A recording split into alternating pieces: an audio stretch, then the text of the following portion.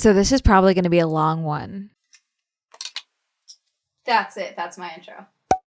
Hi, I'm Amanda. You're watching Swell Entertainment, and today we are talking about the Las Vegas Grand Prix from my Las Vegas hotel room at the Flamingo. First off, why did it go? I go? Um, well, I genuinely love F1. I wanted to go to a Grand Prix, and this was logistically the closest one to me being based in Los Angeles just kind of made sense and then also you know first Las Vegas Grand Prix uh, since 1982 I want to say is the year uh, they did that at Caesar's Palace which is actually I'm looking at it right now I did F1 come to Las Vegas mainly Daniel Ricciardo. I'm kidding, partially, sort of, a little bit. The main reason that I heard they wanted to do a Las Vegas Grand Prix was because they wanted to further the fandom, the growing fandom, if you will, of US fans for Formula One. Basically, uh, Drive to Survive on Netflix has led to a lot more American fans in F1. Not that it's the only thing, okay? But it's, you know, it's a catalyst, if you will. And so they thought that adding another US race would be a good idea. They currently have Austin, they have the Miami Grand Prix, which is earlier in the calendar, and now they have the Las Vegas Grand Prix, which there is, I've been told, a 10 year contract in place with a three year opt out. I believe the opt out is uh, kind of a one way thing where the city of Las Vegas, Las Vegas F1, that type of thing can say, hey, we don't want to do this anymore. I believe it's that, which we'll talk about in a second. As far as like why Vegas might want to have it here. It's the same reason that Vegas wants any sporting event to come here. They want this to be a destination more than just a way station. They want you to come here for things aside from just passing through on your way to LA or coming here just to gamble for your 21st birthday and drink and all this stuff. They want you to come for other things so that you then go and gamble and drink and, you know, fill up the hotels and things like that. So um, it's a smart move, frankly. Uh, we just saw this. They did this with uh, TwitchCon as well, um, which I, TwitchCon's not coming back to Vegas, but that's a whole other video that I've already done. There's a lot to love about Vegas, and I'm not going to be one of those people that's going to sit here and complain about Vegas as a whole because that's just not who I am. I have debated moving here several times, and I'm sure one day I probably will end up moving here. I have a bunch of friends that live out here, so if you are expecting me to sit here and just like rip into Vegas as a city. I'm just not going to do that. But a lot of people have complained about Vegas uh, since it was announced. I also talked about not necessarily, you know, the problem with Vegas, you know, as a Grand Prix location in my video. At least I hope that's not how it came across. I was concerned with the construction that I was seeing and the speed at which they were doing it and the starting too late in the calendar, in my opinion, for building everything. And that's pretty much what my last video about the construction for the Grand Prix was. The complaints that that have been around Vegas for the Grand Prix, for the most part, have been, I don't know, I've seen the response go back and forth. I've always thought that the criticism was why is there a third race in the US? I completely disagree with the rhetoric that there needs to be another one. Stop. As an American, I am telling you, stop it. Especially because these are some of the more expensive ones in the calendar. also, the that Vegas was just going to be a big spectacle and not about the sport the driving itself, the racing itself. And so announcing the opening ceremony and the amount of fans that were going to be there, the musical lineup, all of that, uh, it was criticized pretty heavily immediately, which is always so funny to me because then people, it's like, well, the people that matter aren't the ones complaining. It's like, well, you got the drivers and you got your established fan base. You got them complaining. So who who who matters to you? I'm just curious. Investors, I get it. It's a business. At the end of the day, this sport is a business, and so a lot of this I can just be like, "Oh, money," you know. So much of it can come down to that. But, you know, you guys don't make money if no one's attending, if no one's, you know, buying the merch, if no one's, you know, tuning in to watch the GPs. So let's explain how I was able to go. I love F1 and my dad loves Vegas. He loves Vegas so much, he is on a first name basis with his slot host for the casinos. Okay. Um, he comes here a lot. I spent um, a undisclosed to me amount, but it's enough that his slot host gave us this hotel room, five nights, comped and we overlook the track. We got our tickets for Thursday and Friday night also through the slot host as well. Originally, we just got tickets to Thursday, and my dad didn't understand why I was frustrated by that. I was like, okay, well, I'm gonna go and buy a ticket for Saturday then, and he was like, what? You we we're gonna see like time trials. I was like, no, we're gonna see practice. Thank you, but also I'm going to buy myself a ticket to the race. The slot host was funny because she was like all excited to call and tell us, which was very sweet to have this comp. It was very nice. I'm not complaining about the comp tickets whatsoever. I want to make that abundantly clear. She was like, why does everyone want to go Saturday? Why is everyone asking for Saturday tickets? I was like, because that's when the race is. And that's so funny to me because this is something that I saw with Miami as well. This is not in relation to the slot host in general, but like there's so many, because uh, the slot host thing that was done meticulously, that was like, unless you have lost over $200,000 to a casino, you were not getting a Saturday ticket. And I had that specifically told to me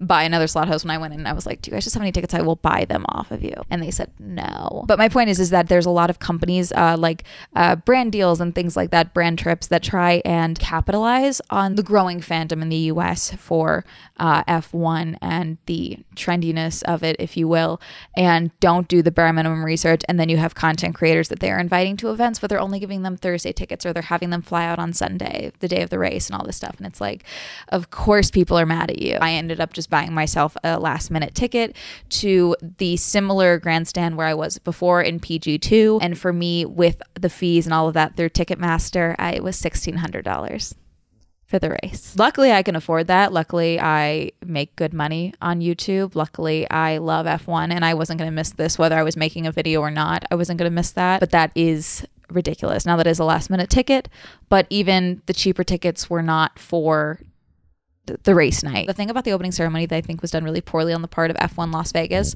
was that they did not make it clear enough who got access to the opening ceremonies and who did not. And I had talk to a few people who said, Oh, yeah, I went because when I got my ticket, I saw that it said that I had access to the opening ceremony based on which grandstands you were in. Okay. It was specific spots you had access to, uh, to the opening ceremonies. But I don't think they publicized that enough because I didn't even see that until like probably a day or two before the event. Now, I don't think my ticket would have gotten me in because the end of the hairpin is where we were PG2. And so I don't think that would have gotten us in, but I'm not certain. What ended up happening and how I was able to attend the Wednesday night opening ceremony in the Paddock Club with my dad as my plus one was I met Tony, F1 Tony, okay, from TikTok at the Netflix Cup. We passed by each other and I was like, oh yeah, I've seen you on TikTok, all the stuff. We talked for a little bit. About 5 p.m., she messaged me and she was like, you're on TikTok, right? And with the Aston Martin team and TikTok, and they want to know if you and a plus one like want to come tonight.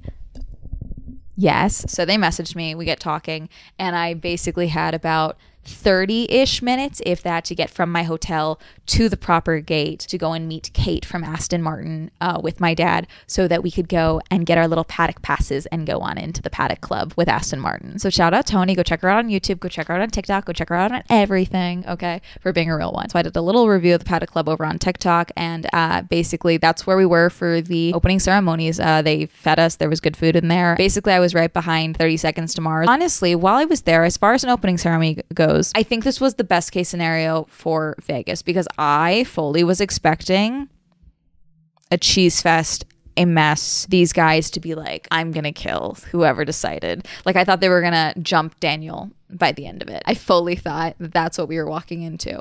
And instead i think that this was a fairly tight fairly successful opening ceremony. Pretty much everyone did one song. They never went over three minutes and they just kept it moving. The way they used those like electric screen motorhomes were pretty solid. I think they utilized them pretty well. And then to have the teams go and just do a little, yes, Hunger Games esque come up, come down, all this stuff. Yes, it's goofy, okay?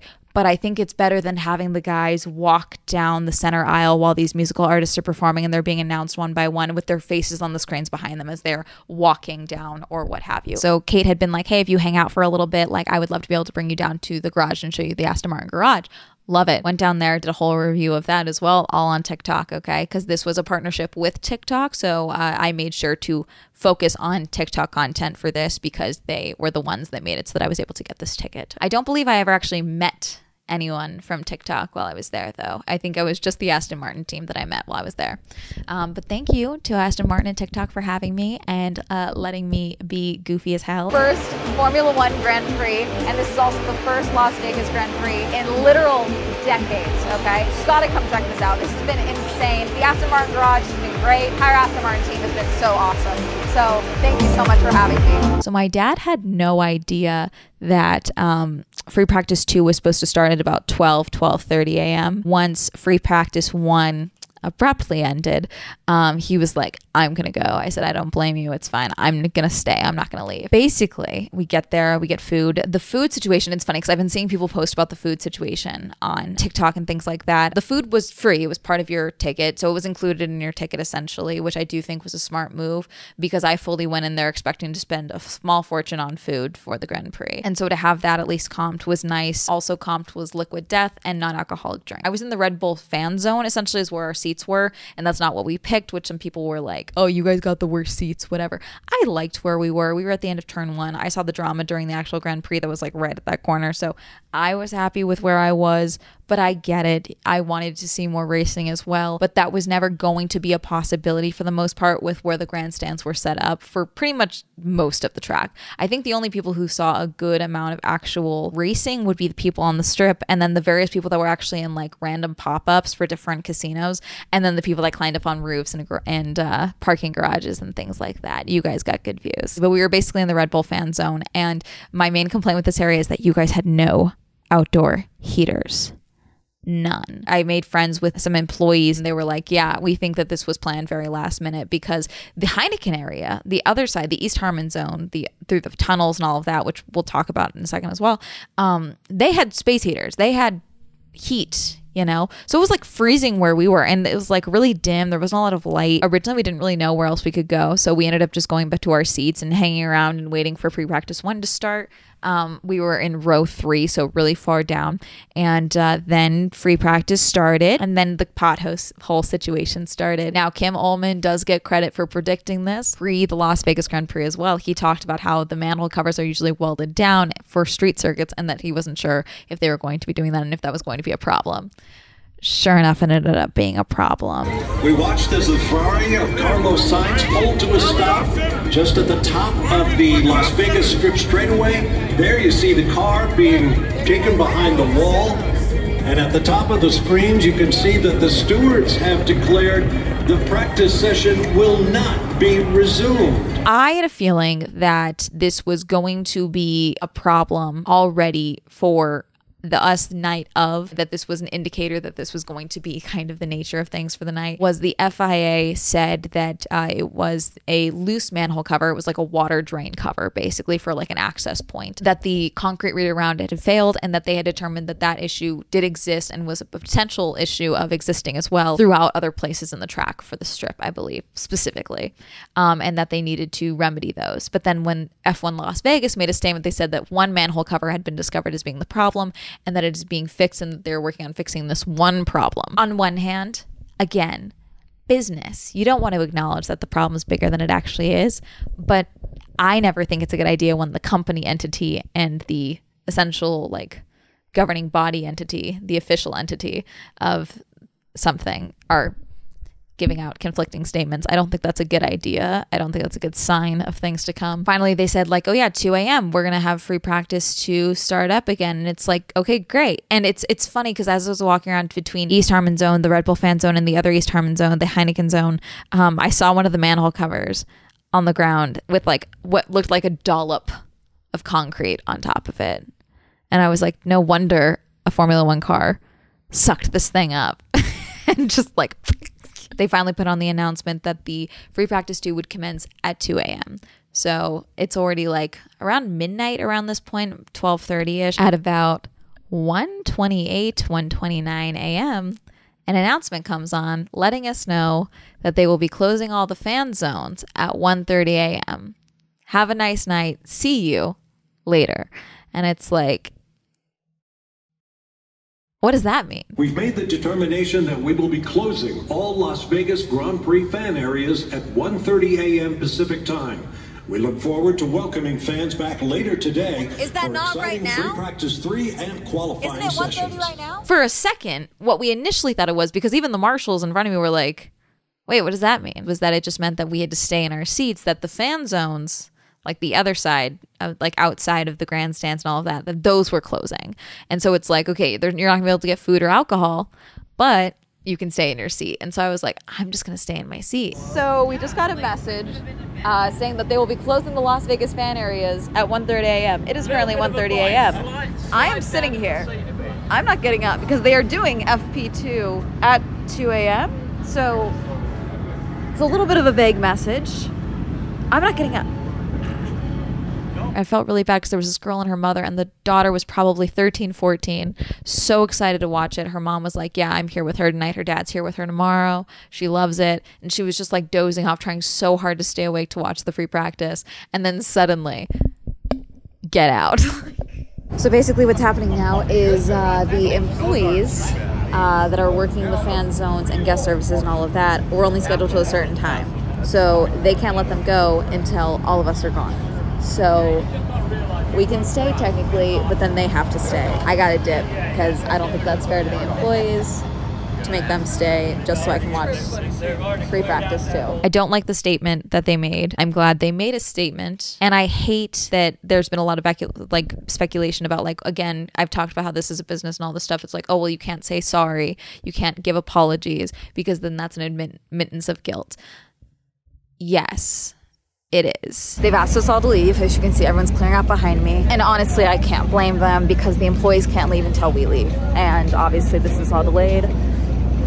I don't think there was another option here for the employees because they're only paid to a certain time. They're only scheduled to a certain time and they have to come back tomorrow. The only thing that makes sense for why they kept us till they did and waited that long to give us the notice because you know when your employees are scheduled to. You know when it's time to leave. You can't tell me that someone didn't come and tell you, hey, we only have the employees until this time. I get it. You're trying to get things saying, we're just going to do it till this. We're going to do it till that. Like, and if there is that type of communication issue where like you were learning that the half of your workforce, if not 90% of your workforce for your fan zones have to clock out at a certain time where you have to pay them overtime, which you were never going to do. Frankly, let's be realistic here. It's either a complete and utter breakdown of communication or you knew and decided to wait until the last minute.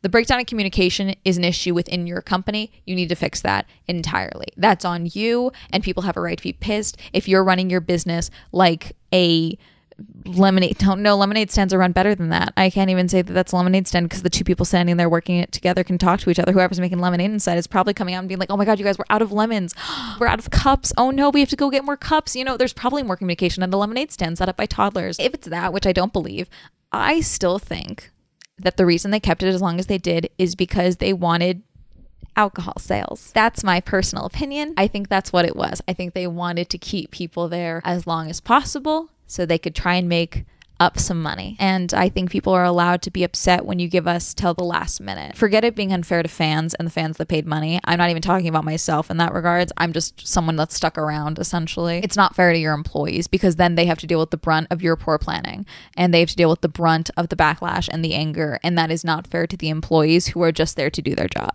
So it's also not fair on the part of the fans to snap at employees and go up to, you know, the people just trying to help and you know be like okay well where's my refund? Things like that. That's not fair to the employees as well. So you guys bungled this. You bungled thursday night. You did the end. Two things can be true at the same time. You can be a fan of F1 and love the sport and still be frustrated with how the Vegas Grand Prix has been handled or how it was conducted or the circuit looking like Spider Pig on the ceiling. You, you can have those opinions. That's allowed. You're allowed to complain about things it's okay. Day two, we had FP2. No one, you know, lost the undercarriage of their car. It's funny because I was like sitting there and I was tired and I was obviously cold. My dad came closer to about eight, uh, like right before, you know, FP2 started. And um, he kept being like, are you having fun? Are you are you good? Like what's wrong? Whatever. And I was like, why is he asking me that? Like I, I don't get it. And then I realized what it was was that for my dad, this was just like a fun, cool event. That's what this was for him. He just got to go to an event and see cars going fast and be super close to the cars. For me, it's like I am rooting for these, uh, you know, fast boys, and they are giving me anxiety, and I'm stressed out by the safety of this track, and I'm stressed out by, you know, the cold, but I want them to do well, and now I'm panicking. And so he just saw me going into like the focus, the fan focus mode of being anxious, and uh, he's not used to seeing me like that because I don't care about most sports. but then I was telling him, like, oh, the other day, I was telling him today, I was like, yeah, I just realized it's like, yeah, I, have never told you, like, when you're watching a Houston Astro games, like, are you having fun? I'm kidding. He doesn't actually like the Houston Astros. He actually hates it. That was a little shout out for him because I know it's like, he'll, he'll text me about that later when he watches this. He'll be like, you said I like the Houston Astros. He hates them. But when he's watching a baseball game or whatever, you know, I'm not sitting there being like, are you having fun? You know, because of course not, because he's watching the game, you know, so it's the same thing. Bumped into the employees that I met the night before again, and I really want to make this abundantly clear as well because before going into Friday, they had made it very clear that if there was any scheduling issues, if things did have to change, that they had staggered the employees to come in at certain times so that there would be no risk of like, okay, everyone has to clock out at this point type of thing. Okay. Um, so that was good. But I went and talked with the um, girls that I had met the night before, and they were like, "Yeah, no, you got to know, like, there things are so much better tonight. Like, the communication is better. They have us over here. They had put their booth. Uh, they were part of like the Heineken zone, uh, like one of the Heineken booths. They had like been in a really bad spot before. They put us."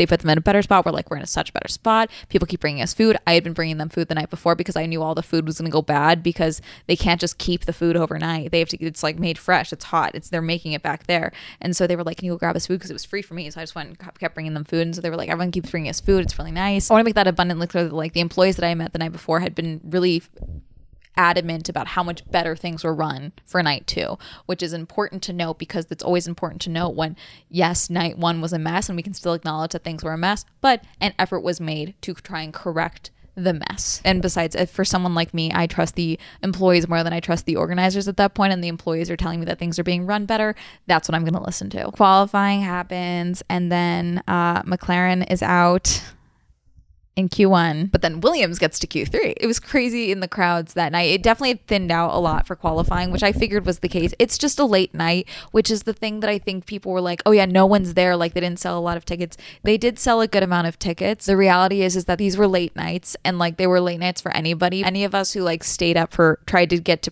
FP2, we were all exhausted. I'm shocked I made it as late as I did for qualifying. Same with like last night for the actual race. We'll talk about in a second. I fell asleep during the race at one point. I was exhausted. You know, I get it, Vegas City never sleeps, but like, you know, people have lives.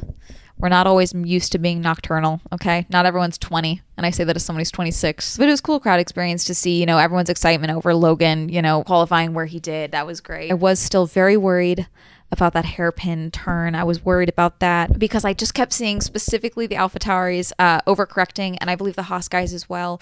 Um, there was a lot of overcorrecting in that turn, like jerking really quickly, and that stressed me out. So I was worried. Day of the race, about 5 p.m., I just went and bought my ticket. It was in the same grandstand that I was before because I was I was basically attached to this zone, but I had made friends with the flag marshals and I wanted to keep my buddies with me. So I figured it was a good spot to stay in. And again, I thought something bad was going to happen at turn one. Frankly, less bad happened at turn one than I thought it did because I fully thought that we were going to lose at least three cars in that first turn, frankly, right at the start. That's what I was expecting. The Cirque du Soleil show that they did before the race itself was interesting to say the least. I don't know. I just, and I like Vegas. I like these shows, you know, but I'm also like, do we need it now? Because what am I here for?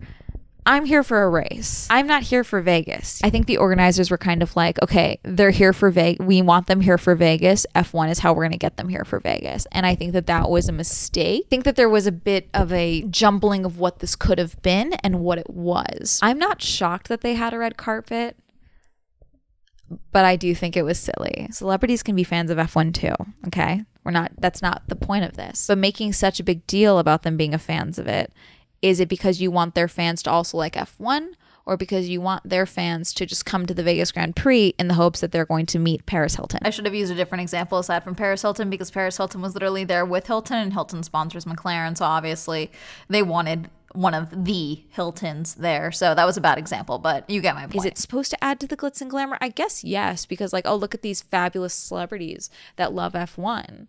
But then so many of these celebrities don't love F1. They just like the opportunity to get a good photo, you know, which is the case with most of the current rhetoric for celebrity and influencers and all of that. And I, hey, I got photos in the pit lane. I did that. Fully, fully admit it. I did that. That was fun for me. It's like kind of like adding the layers to this sandwich of this is a spectacle, not a sport type of thing. That's that's the, the sport got like a few layers. And then spectacle, Scooby Doo would not be able to fit the sandwich in his mouth. That's what we're looking at over here for like another one on the pile. Maybe some bacon, some cheese, you know, some, and maybe, oh, let's get spicy. Let's throw some brioche on there, you know, let's get spicy with it. That's, such a weird comparison. I'm tired. And then it was time for the Grand Prix. So I ended up grabbing a Amex American Express radio. Here you go. Um, I don't remember when I grabbed this. These were tuned to, I believe, the Sky Sports broadcast. During the Grand Prix, I had these things in the entire time mainly because during qualifying, I was getting frustrated with the announcers. Because they just kept drilling home the point that oh my god look at the vegas strip. Isn't that that's a beautiful picture. That's amazing. It's like zoom in on the freaking cars please. Just show us the cars. Show us the racing. The amount of times they cut to show like this the the paris hotel you know the, the layout of the strip. I was like I, I get it. We're in vegas. I know. I'm here. Show us the cars. Show us the overtaking attempts. Show us who is struggling on various corners. That is what i want to know. And so listening to this was great because that was basically they were just talking about the racing and they barely mentioned Vegas like at all. It was wonderful. So that was preferred. That was good. And also the uh, broadcast that they had on site was delayed this wasn't. Turn one happens, and uh, Fernando does a little about face, um, runs into Bottas. Max and Charles have their little collision. I don't think you need to give me to give you a play by play for the actual race itself. I think you can watch the Grand Prix. I don't think that's why you're here, is to hear me just talk about the race itself. I will say that being in the crowd for this and seeing Charles and uh, P2 and all of that, and just hearing the energy from the crowd for when the drivers did different overtakes or Logan Sargeant came through and things like that. That was really cool and that was a really fun experience to be able to scream with everyone and to be able to scream at the McLaren voice to drive faster. Obviously, where Lando crashed, basically, I believe it's been determined that he hit a bump in the road that caused his car to bottom out and for him to lose control of the car. Scary as shit. Glad he's okay. Uh, that was a lot of sparks. That looked terrifying. It was scary in the moment there because it was all of a sudden like, oh, there's a car in the barrier. And you look over and the car looks from the angle they gave us just looked crumpled. It was like, what the fuck just happened? The crowd when Charles overtook Checo in the last lap was crazy. For them yeah. to do that, what they wanted to do was back up.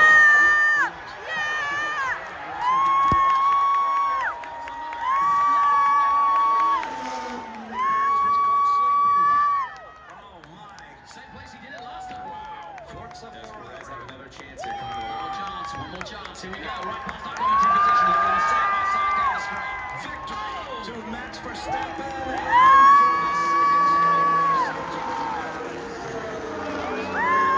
I don't know. I always get mad at like the video because that's where I want to go to a, a, Grand Prix where I have a little more view of the track itself because your guys' camera angles, the selection of, of shots you guys get don't show me what I want to see.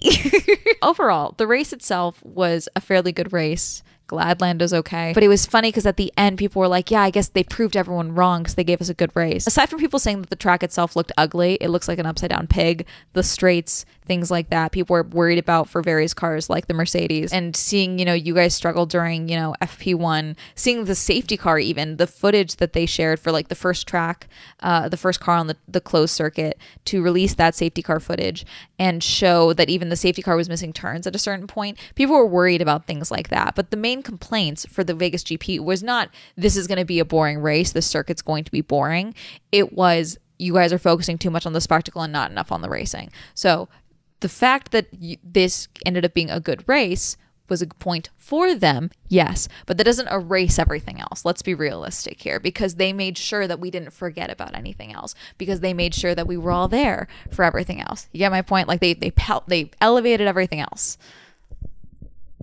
the racing was just kind of like a, okay guess we're racing now. And then even then it was like once the you know race is done like stay in your seats there will not be a storming of the track. And then they kept saying like oh and more musical artists and more things and all of this. They're coming to you all this stuff. And it's like okay. The complaints were that in the grand scheme of things the race itself was felt to be like a commercial break with you know the musical acts and everything else you know to be the the focus of things. So that was the major complaints. No one knew what type of race this was going to be. I was worried for a variety of reasons. And frankly, I don't think I was wrong to be worried because we had various other issues on the track, including, you know, what happened with Carlos and then what happened with Lando. And then it was like, oh yeah, stick around. There's to be more musical artists. And then there like wasn't. There was like a DJ or something again, uh, which it's like, okay, we left. They and they started escorting us out anyway. So I like, I don't know if there was just a miscommunication with the announcers or something, but they made it sound like there was to be like several musical artists and there just weren't. Would I go to another Vegas Grand Prix? Yes, because I love the sport and also because I would be very interested to see how they, uh, you know, course correct. Because I think what I really wanted someone to ask Max, which as far as I can tell, no one did before. Now he loves Vegas because he won. Of course he did, which is hilarious. I wish that someone would have asked him, in your opinion, how do you think Vegas can tweak this in the future? for future races for fans and for the drivers to be more comfortable driving here, to be less frustrated and annoyed? What would you like to see change in the future years? Because I think what Vegas needs to really focus on now is one, how long it takes them to take down, you know, the temporary track bits on the street circuit and all of that. The where the paddock building and all of that is, that's part of the current uh, lot. That lot is now owned by F1. That's a year-round location. That's the year-round track section. Apparently, they have plans to use it for other things, or at least Vegas does. I'd be fascinated to see what that might be. Um, the only thing I can think of is events like CES, uh, because those are all over Vegas uh, for uh, CES, the uh, Consumer Electronics Show. I'm assuming that maybe you could like rent out the different rooms. The, that's a massive paddock space and all of that. But everything else they're going to take down. So they've already started taking down a lot of the temporary track here on the strip. I'd be interested to see how long it takes them to take everything down entirely. And I hope that they learned so much from the setup process of this. Obviously, first year is getting started, all of that, which we can still complain about while acknowledging that it's the first year and there's growing pains. You know, the two things can be true at the same time because I really think that for the future, of F1 in Las Vegas, they really need to focus on not upending the lives of the locals as much as they have currently. I don't like the comments that I've been seeing from F1 fans that aren't in Vegas about Vegas locals complaining. I don't know. How do I teach someone to have empathy for other humans when they clearly don't have any? When people are losing their jobs because they can't get to work on time because the construction is adding an extra two hours to their commute when they weren't planning on that, that's a problem. People having to, you know, plan extra time to get to work and then they're not being compensated for that extra time spent in the car. They're not being compensated for that time that gas money. They're not being compensated for that. Because that's the thing. It's like there are people there are condos on the strip. There are places where people live down here. But for the most part vegas locals don't live here. They work here. And that's for the most part what's being upended. And that's something that should not be ignored or just looked down on. It's like well you live in vegas and people live in Paris and LA and Anaheim where Disneyland is. People live around Disneyland. Hope for the future you guys start setting up earlier in the calendar year and that uh, you guys streamline it a lot more and try and make it so that the this is not so upending for the locals because I think what might happen if this continues to be a burden, because I, I talked about this in my other video as well, where about this being a trickle up and not a trickle down as far as the local economy goes for F1 being here. I worry about the possibility of once the three year, you know, out clause is coming up. Uh, it's not so much that Vegas itself the you know F1 Vegas or what have you is like, okay, this is actually isn't a net a net positive for us. We should stop this now. Employees, hospitality employees, locals, what have you, start striking and protesting to be demanded to take off the calendar because you haven't remedied how this affects them every single year. I think that that's something to really think about in the long term because we have a 10 year contract in place. And I think that that's something that should not, I don't know why, I don't get why there's so much hostility. The locals are simply saying, this sucks for us.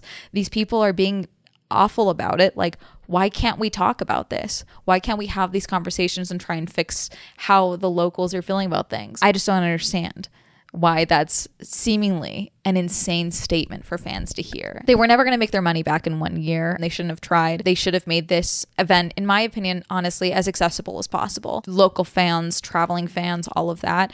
And I don't think that they did that. And I think that that was just kind of starting them from behind to begin with. So I hope in the future they really make strides. They've learned from this and learn what like what needs to be adjusted as far as like the setup goes and the planning goes and all of that uh, to try and make this as less disruptive as possible. I get it. It's Formula One.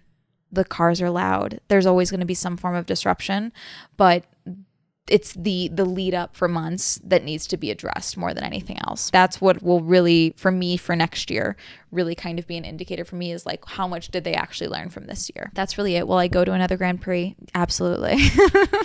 I have plans for next year. A few of you guys want me to review um the some of the international ones, so we'll see, which I do think I'm going to go regardless whether I do a video on it or not. I will be going. Glad this is done glad I got to see, uh, you know, Charles get second. I'm glad I got to see some good over. There was a good amount of overtaking on this track, which I do think, you know, was good. I was worried. I'll I'll fully admit I was way more worried about this track. I was think I was right to be worried because obviously, You know, not what I thought was going to fail, failed. I was worried about the road, but not in the way that I think that I should have been worried about the road. I was worried about, you know, the temporary track bits and things like that, which ended up just being the cement blockades, the same thing that they were using, which is good. I don't know, some of those some of those wall clippings that some people did stressed me out too. So I don't know. I'm just an anxious person, and so I've probably chosen the wrong sport to be obsessed with. That's going to be it. Uh, did you watch the Vegas Grand Prix? Were you at the Vegas Grand Prix? Remember, I have a podcast, the Swell Shenanigans podcast. Remember, Swell Entertainment is now available on Spotify. Remember, I'm now streaming on Twitch. There will be a merch design for this one. Um, probably, I kind of like Spectacle Sandwich. Shout out to my patrons. Thank you so much for supporting my Patreon. If you also support my Patreon, that was down below. Like to follow me on social media, that'll be all up here. And that's going to have a lovely day. Goodbye.